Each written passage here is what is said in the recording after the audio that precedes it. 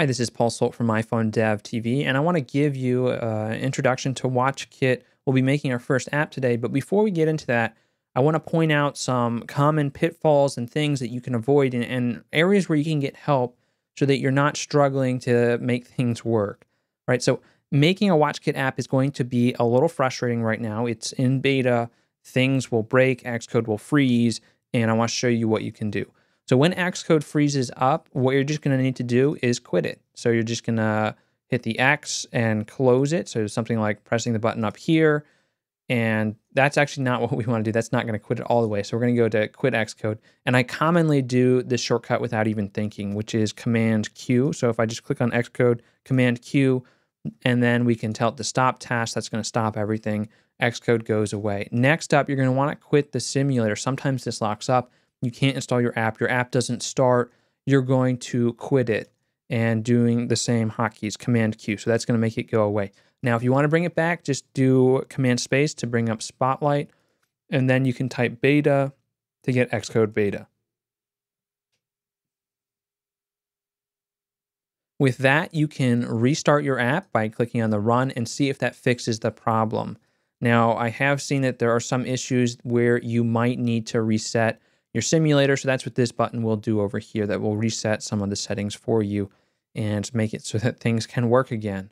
All right, so let's just stop the application. Now what I want to show you and talk about is how to design the user interface and how that's going to work. WatchKit's particularly interesting right now because the UI is completely different from how we do UI in an iPhone app. There's no auto layout.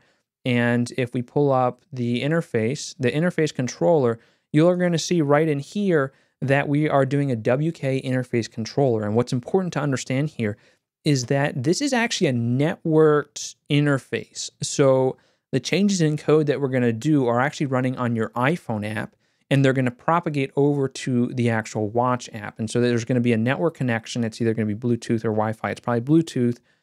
And it's going to be sending data over, telling the watch what to draw, what to do, based on what's running on the iPhone. And this is powered by the extension framework, which is why you see that all of this code right now is in the extension. So this code is running locally on your iPhone, but it's in a separate process from the code that's going to be running your main iPhone app.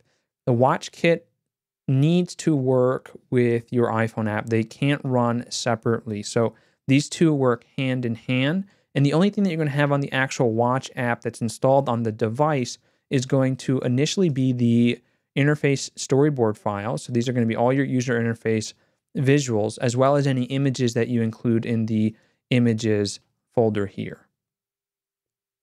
Okay, so that's an important distinction. Now, this is what's currently released. So there are limitations in what you can do. One shining example is right now there's no way to add a button that can send a message back to the iPhone app to do a task or something like that. So you need to think about how these WatchKit apps are going to behave differently than how you might consider an iPhone app to behave. And there's going to be shared resources that you need to sort of manage back and forth.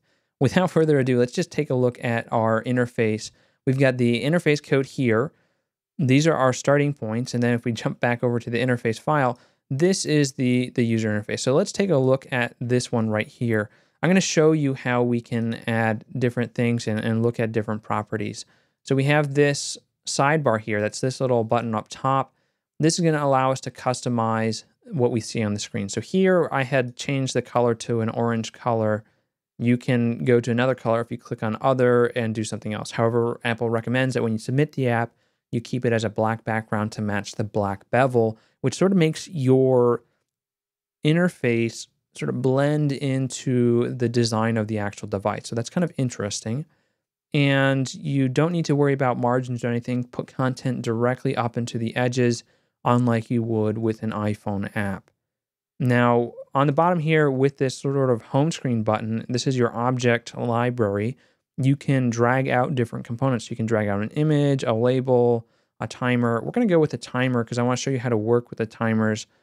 And then we've got uh, separator and things like that. So you can move things around and it's a little bit harder to work with. There's no auto layout here. So if you want things to move around, you're really going to have to use something called a group. A group is going to allow you to put logical information in different places and sort of design the interface that you want to, to lay out. So all we need right now is there with the group, we can create empty space and, and move our timer down. This timer here is kind of interesting. It's Apple's timer and it is going to run locally on the actual device, which means that we're going to have to do some extra work on our end to actually get updates when it's going to reach its final time and things like that. You can customize different things here. Now, what I want to point out here with positional, there's no auto layout. You can't directly set a position here. You're going to have to set the position to left, center, right. So we can go center here. That's going to move it into the center. Then we can go right, and it's going to move it right. If I want it on the, the center of the screen, that's going to place it in the center, and then we can go back to center, center. So let's just put this in the center, center. We don't need the group, so I'm just going to go ahead and delete that. And the separator is not really where I want it, so I'm just going to click on it and delete it, pushing the delete key. Now we have a, a timer in the very center of our screen, and we can add a, a start button that's going to default to the top. I want the start button to be on the bottom, so I'm going to put it on the bottom. That's going to push it down there. And currently the background color is a, a it's like a, a black color. I'm going to change that to something else so that it just stands out a little bit more. Maybe that's too much contrast for you. Pick whatever colors you want now we have this, this UI customized. So if we were to hit play right now, we should see the button, we should see the timer appear, and we don't see anything happening with the timer.